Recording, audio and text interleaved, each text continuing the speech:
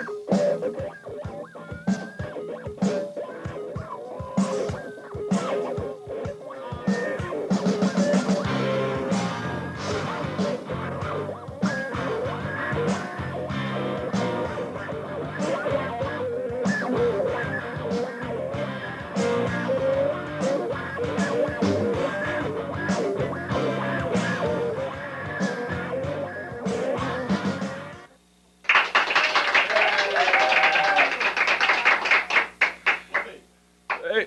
To the 15th and final installment of the Nailhead Show. And uh, the reason this great show is coming to a close is because of tumorous growths we've discovered on the Nailhead himself. Having only three weeks to live, we won't put him through the torture of uh, TV. And uh, on this show, we're going to have all the people from the past Nailhead shows. We're going to have Man in the Streets. We're going to have a movie from Boston by the people who brought you Valley of the Green Beats. We're going to have live music and much more surprises. So uh, instead of flapping the beginning of the show, we have so much to go through. So first, we're going to start with a movie from Boston called Base Wars. Thanks.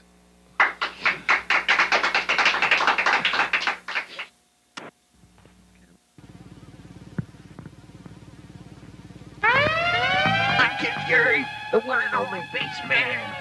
I rule the Miami Sea with my adventure posse. Right now, I want you to spread the word. Magic Mike is mine. Base war. Cookie, you take the west side. Burn and Ernie, split up north, south. Burn, butcher, fly east. Find Magic Mike and his measly posse. Tell him the base war is on. I'm gonna prove that I have the most bumping bass beats. As the bass man, I rule. Mike, you're nothing.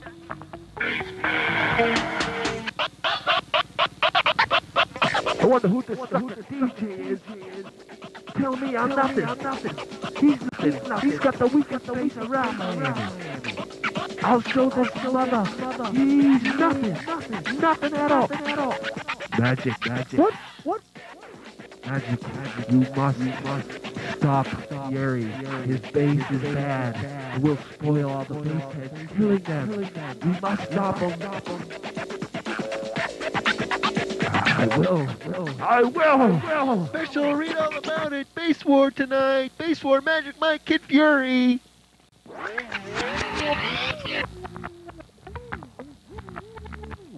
I hate when that record does it. Shit, that Fury Fury stuff. What do you mean it's crap? Crap. I happen to like it. It's got some good riffs going on. Ah, Riff Schmiff. Magic Mike's got the beat you can sink your teeth into. Arrgh. Hello. What up, G? Base War. I've never seen one of them before. Who? I haven't. I've never seen one either, but I've read about them in magazines, and, and they're supposed to be really good. And I think this is our chance to see one. Okay? You read about that shit in the Syndrome? That Syndrome's dope. Yep, I read about it in the syndrome. It's all over the place now. Okay, so meet me at the cafe down at on Bank Street, and we'll get the bass going. And and please don't butt bass out on me. We have to make it this time. Ladies and gentlemen, let the Base War begin.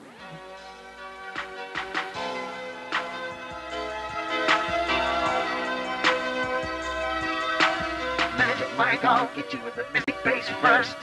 Mystic bass, yes. That shit is whack, dude. That thing's the weakest bass I've ever heard in the world. Feel the bass, bass, bass, bass. Feel the bass, bass, bass, bass. Feel the bass, bass, bass, bass. Feel the bass, bass, bass, bass. Feel the bass, bass, bass, bass.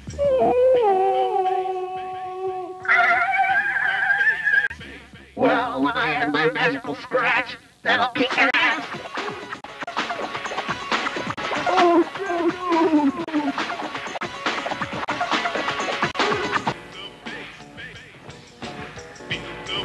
my special bass generator. Nobody can beat it. Take it, take it.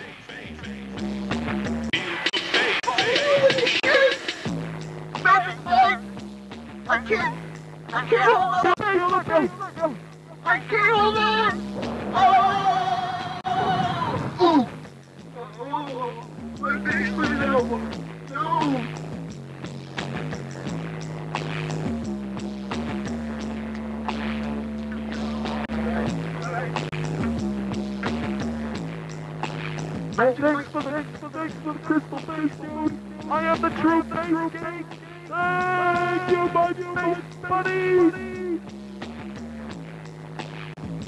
Yo, yo, yo, yo. Hey,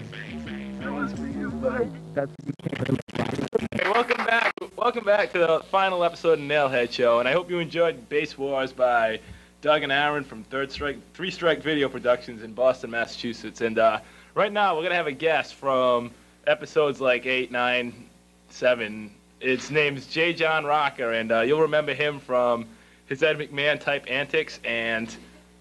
That's all we'll remember you by. But we were supposed to do a show called J. John Rocker, but it never materialized because he was hitting something too hard. So without further ado, J. John Rocker. Hey, how's it going? Glad to be here. Yeah, I can't- J. John Rocker thing, I was really looking forward to that. It's too bad it didn't work out. But yeah, I know. What can you do though? The show's Uh. been such an unbelievable success. Yeah, I know. me. I don't know what it possibly could I know, have it, it, I not, nothing, not, nothing could have stopped it, I guess. But uh, did you enjoy Base Wars? Um, to be honest with you, yeah. Yeah, no, that was pretty good. That was pretty good. So um, I guess we're gonna bring out um, the Tom next, and then go to the streets. But first we're gonna take a first we're gonna take a commercial break. Thank Thanks. See you Fortunately, many Americans have found a way to respond to HIV. I got a friend that's got AIDS. What? They're shooting up? You think that's the only way They're educating get their employees, The issue here is education. AIDS is growing fast. their communities, Small town. especially their friends and their families. Last year, I found out that I have HIV. If we're going to prevent the spread of HIV, each and every one of us must do our part. Find out how you can help prevent HIV.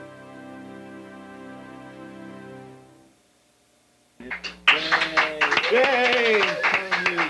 Hey, welcome back, and uh, I hope you enjoyed that that message we just had. And um, I'd like to introduce the Tom, who has been away from the show for a while because of all sorts of things, including a newfound love in uh, higher being and marriage and all kinds of stuff. But now he's back and uh, looking better than ever. So, ladies and gentlemen, here he is, the Tom. Hi. Hey, Hey. that's a nailhead tissue. Hey, thanks. Thanks. Hi. So, Tom, what have you been up to? Oh, pretty much the same thing. Which, which is? Not too much. Oh. Are you employed at no, the moment? No, no, No? I'm not collecting either. Ah, see, now that, that's someone who's uh, plus to society. He's unemployed, but not counting in the figures. There's a lot of them out there, Huey. He's just one of them. The uncounted many. So, uh, so what have you, My word. so what's going on? What are you driving nowadays? A Toyota. Toyota, huh? A red one. Yeah. Drive like a nutter here. Drive like a nutter here. Drive like a nutter here. A nutter here. A nutter here. There's someone right here who's going through a harrowing, terrible driving experience with you. We'd like to bring her out. Ladies and gentlemen, Miss Gary Groves. Oh, hey. Hey. It was it was it was just terrible. It was terrible. We were flying down the highway and cars were going everywhere. At- At what speed would you say this was at, Miss Groves? Oh, it must have been 35, 40 miles an hour. On the highway. Yep. It was just terrible. Okay, I, I can't talk about it anymore. It- I, I'm, I'm sorry. I'm, All right, so uh, we're gonna have one more interview right now with a man who you'll remember him as Ron Ragu in the Drunken Stonehill College episode with uh, blasphemous blas, blas, blasphemy in it, and uh, not really anything else of merit. So thank you to Tom, and hope to see you soon.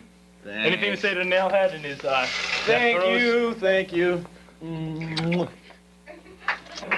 Me and my house. The only issue in my house is if you try to change the channel, then I'll get a little pissed. Or if you take my stereo away, 'cause I don't want anyone blowing it. I, I don't want anyone, anyone blowing up. I don't want... Hey, wait a minute.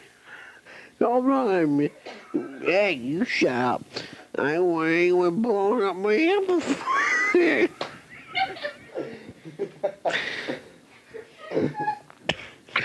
I don't want anyone, I don't want anyone drinking too much either. That would be a real shame. now we're gonna have uh, a person called Pat who's on the show, and he played Ron Ragu in a humorous Stonehill episode, and he played a blasphemous priest, father supporter in in a mock mock of a religious Catholic service. And uh, right now, here he is, Pat.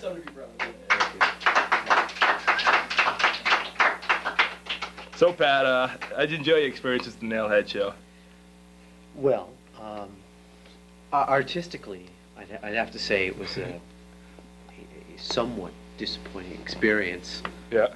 In that, um, that I found myself on the same program with with Howard Zinn material, and uh, I, I just feel I was being politically put in the same vein vein is uh, Howard Zinn's People's History of the United States.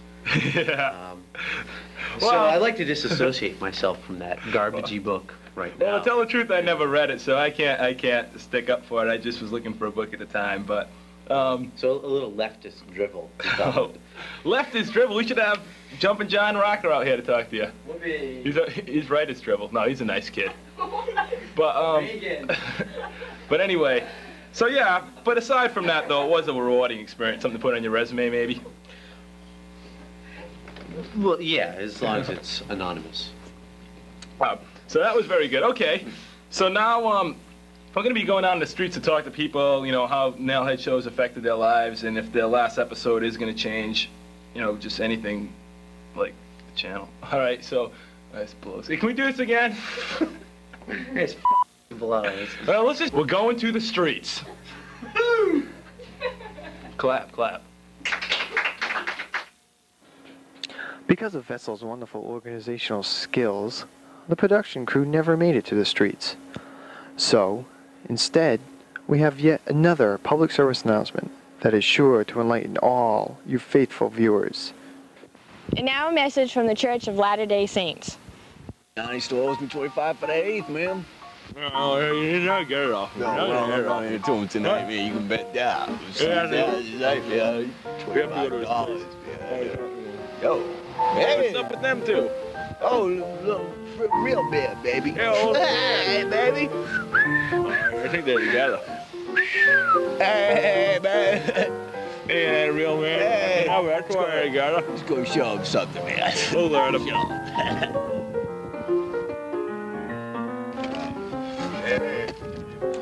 Hey, what the girls up to? What's up? What's up? I'm tasting that sea guy. Hey, man. Jenny, Hey, man. Right. Oh, hey. No. Little companionship, man. You'd like to what? Hey, please better leave. Just leave us alone, all right? Just leave us alone. Hey. Leave her alone. Just leave her alone, all right? Stop it. Stop it. Stop it. Get your hands off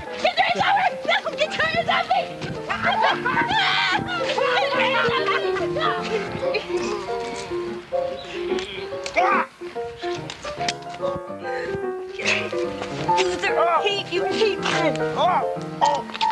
You loser, I hate you.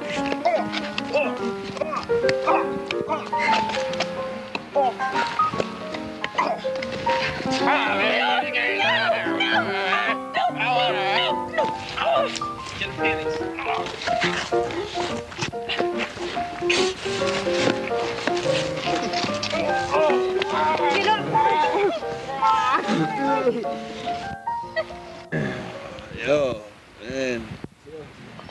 tough chicks, man. I think we learned a little something here. Uh, yeah, man. Don't drink and rape. Don't drink and rape. You said it, man. Peace.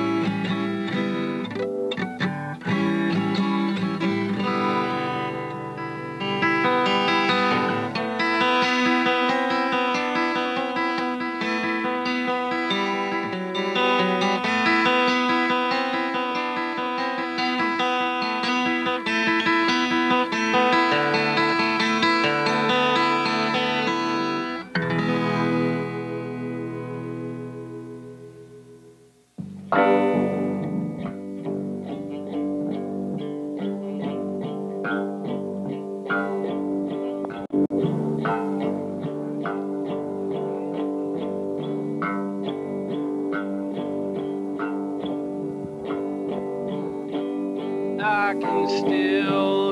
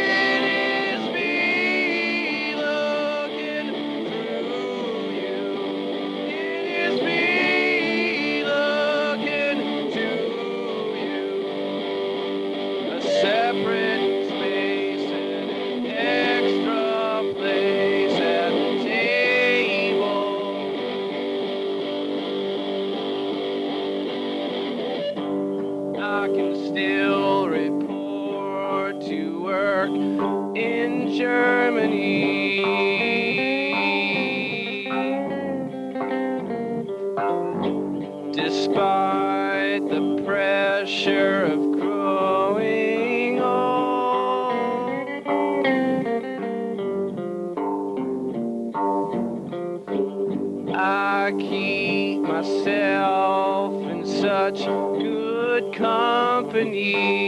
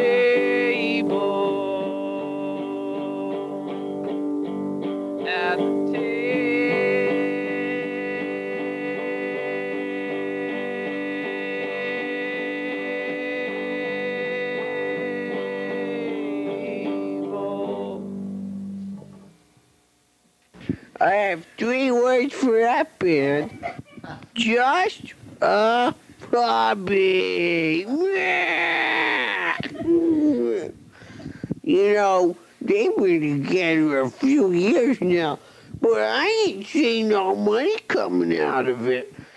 In fact, you know, all they do is make loud noise in my cellar. That's my son Stevie. If he's not buying comic books, he's wasting money on that music crap. I said to him, you know, Stevie, if you play a little more Everly Brothers, maybe people would pay you some money to pay you. But no, all they play, I don't even know what they play, but it's crap. Hey. welcome back from uh, Blow Train, and uh, that's going to be replacing the Nailhead show because Nailhead finally did pass on to a higher place. And to continue the show, since he has no nails, we just have to call it the Head Show, but we can't do that. So uh, I'd like to thank everybody that was involved in the show, including the Tom. Everybody. All the wonderful people you can't see off camera who meant so much to us in keeping this show on the air. Steve, Dan, Carrie, Ellen, Ellen, and um, Frank the homeless man is one person who's very conspicuously absent here. But what happened was that he found the home, so now he's just Frank the man. And uh, I think there's an old movie from the 70s with a character called Frank the Man, so we didn't want to do that. Steal anyone's groovy ideas. So uh, I thanked who I wanted to thank. Now I'm going to go to Tom for his shout out. So, Tom, you have to say? I- I'd like to thank Carrie for surviving that drive down 495 from Boston. I'd, I'd like to thank Steve uh, for being behind the scenes as, as always and cranking out such a wonderful production, and Dan and, and Ellen for that wonderful Penny And me. job. Oh, right, yeah, yeah, yeah. Glenn and uh, your, your band, Penny. Penny. Oh. That's, it's not my business. Right. Great. So I hope you enjoyed it, and look out for the new show Blow Train, which will be live musical guests every week, and uh, that that's going to be a, a new project. And from Nailhead Studios, uh, this is um, Vessel. Oh, oh, oh my god, I love, Sign up. I love Nailhead. I love Nailhead. Oh my god. Oh, loves him. Oh, oh, oh, thank you. I love you. I love you. I love you. so, um, on that note, we'd like to just sign off. Bye bye.